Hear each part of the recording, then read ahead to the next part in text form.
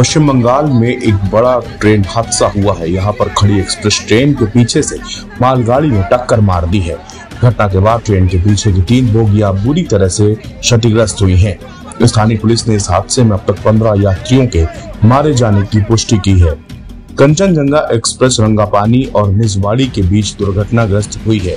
यह सियालदा जा रही थी। ट्रेन निजवाड़ी से पहले ही खड़ी थी। तभी पीछे से आ रही मालगाड़ी ने रफ्तार में ट्रेन को टक्कर मारी।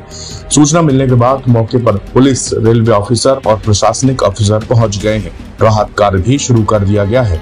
रेलवे मंत्री अश्विनी वैष्णव भी मौके पर पहुँच गए हैं। पीएम मोदी ने हादसे पर दुख जताते हुए मुआवजे का भी ऐलान किया है। वहीं रेल हादसे पर राजनीति भी तेज हो गई है। विपक्षी पार्टियों ने रेल मंत्री का इस्तीफा मांगा है। रेलवे बोर्ड की चेयरमैन जय वर्मा सिन्हा ने बताया कि कंचनजंगा ट्रेन का एक्सीडेंट हुआ है। मालगाड़ी के ड्राइवर ने यात्री ट्रेन को टक्कर मारी। शुरुआती जानकारी से पता चला है कि मालगाड़ी के चालक ने सिग्नल की अनदेखी की थी। इस वजह से पैसेंजर ट्रेन के सबसे पीछे का गार्ड का डिब्बा पूरी तरह से क्षतिग्रस्त हो गया और आगे दो पार्सल वैन के डिब्बे थे जो पूरी तरह से क्षतिग्रस्त हुए। ये ट्रेन अगरतला से सियालदा के लिए जा रही थी और इसका पीछे से एक्सीडेंट हुआ है कोलिजन हुआ है एक गुड्स ट्रेन के द्वारा। प्रारंभिक इंफॉर्मेशन के हिसाब से ऐसा लग रहा है कि गुड्स ट्रेन के ड्राइवर ने सिग्नल को डिसरिगार्ड किया है और रियर एंड से कंचनजंगा को हिट किया है। उन्होंने बताया कि बचाव कार्य पूरा कर लिया गया है। मालगाड़ी के ड्राइवर, लोको पायलट ने सिग्नल को पूरी तरह से नजरअंदाज किया। इस दुर्घटना में मालगाड़ी के चालक और कंचनजंगा के गार्ड की भी मौत हुई है। अगरतला सियालदा रूट पर सभी रेलवे स्टेशनों पर हेल्प डेस्क भी बनाए गए हैं। ट्रैक से बोगियों को हटाकर फंसे यात्रियों को निकाला जा रहा है। प्रत्यक्षदर्शियों की माने तो कंचनजंगा की तीन बोगियाँ पूरी तरह से क्षतिग्रस्त हो गई हैं। कई यात्री बुरी तरह से घायल भी हुए हैं। राहत और बचाव कार्य अभी भी जारी है।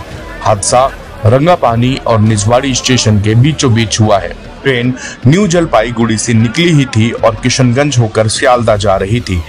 बंगाल की मुख्यमंत्री ममता बनर्जी ने मौके पर एक टीम भेजी है। हादसा इतना भयंकर है कि बोगियों के ऊपर बोगियाँ चढ़ गईं। इतना ही नहीं, ये बोगियाँ पूरी तरह से क्षतिग्रस्त हो गई हैं।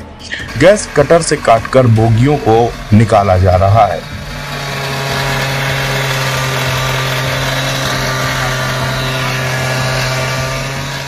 तक 15 लोगों की मौत हो चुकी है, जबकि 50 से ज़्यादा लोग घायल बताए जा रहे हैं, जिन्हें अस्पताल में भर्ती कराया गया है। एक प्रत्यक्षदर्शी यात्री ने बताया कि वह ट्रेन के अंदर बैठे थे, तभी पीछे से बहुत तेज झटका लगा। उन्हें कुछ समझ आता यात्री यहाँ वहाँ भागने लगे। तेज चीखे और शोर हर तरफ़ सुनाई दे रहा था। वह भी ट्रेन से उतरकर पीछे की ओर भागे। पीछे जाकर देखा तो वहाँ पर लोग आपस में ट्रेन हादसे की बात कर रहे थे। उन्होंने कहा कि पीछे के डिब्बे पूरी तरह क्षतिग्रस्त हो गए थे। वहाँ पर एक महिला पूरी तरह से खून पे लथपथ थी और उसके हाथ में एक छोटा सा बच्चा भी था। इसी तरह एक दूसरे प्रत्यक्षदर्शी ने बताया कि वो ट्रेन में हल्की नींद में थे। जैसे ही उनको झटका लगा, उनका सर नीचे अचानक से भिड़ गया।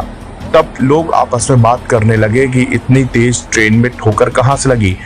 तब तक पता चला कि हमारी ट्रेन हादसे का शिकार हो चुकी है।